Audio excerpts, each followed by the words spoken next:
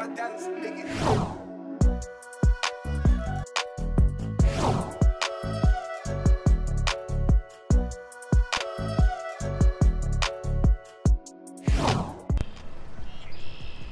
Hey everyone welcome back to the video तो आज एक मैं बहुत ख़ास जगह पे आया हूँ।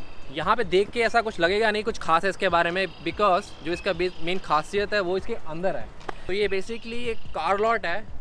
It's not just like any other car lot it is a huge car lot approximately thirty two forty thousand cars are parked inside the car lot right now तो मैं खुद तो उसके अंदर जा नहीं सकता so what I gonna do is I am gonna take my drone and go inside. So without any further ado, let's take the drone inside.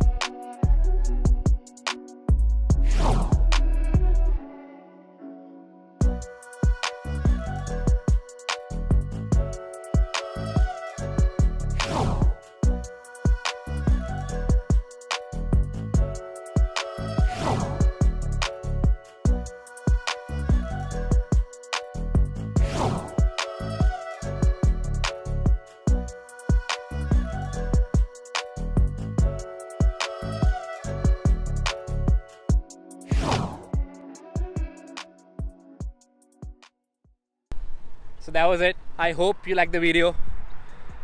अब निकलते हैं यहाँ से कुछ और प्लान बना है हमारा स्पॉन्टेनियस उसके बारे में बाद में बताता हूँ बट अब यहाँ से निकलते हैं।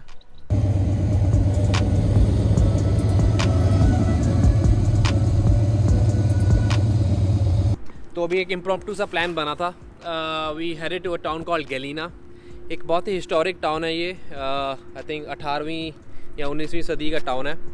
Look at the look at look at how it looks like पूरी बाहर से एक आयरिश कॉटेज की तरह ही जैसे इन्होंने बनाई हुई है and in fact it looks like a castle to me from the outside अब यहाँ पे जल्दी से चेक इन करके will then explore the town थोड़े बहुत ड्रोन शॉट लूँगा वहाँ के भी.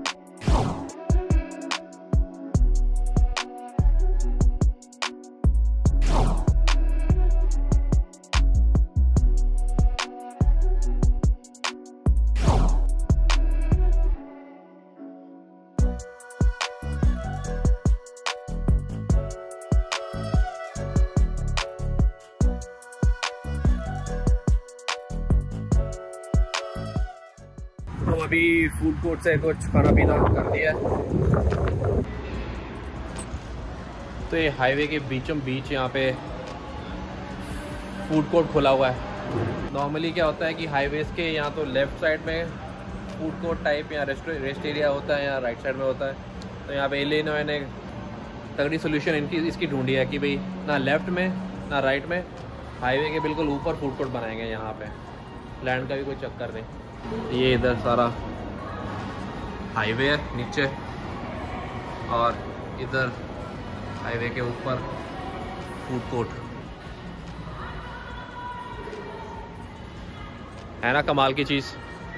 आई गेस लैंड का भी कोई चक्कर नहीं है। राइट वाले फार्म से भी कोई लैंड लेने की ज़रूरत नहीं है। लेफ़्ट वाले फार्म से भी कोई लैंड लेने की ज़रूरत नहीं है। हाईवे इनका अपना है। इसके ऊपर ही बना दो फ़ूड कोर्ट सही तरकीब है इंडिया में भी काम आनी चाहिए काफ़ी सारे ट्रक्स दिखते हैं यूजुअली हाईवे के रेस्ट एरियाज़ पे पार्क करके यहाँ सोते हैं या आई थिंक शावर वगैरह लेते हैं खाते पीते हैं कुछ।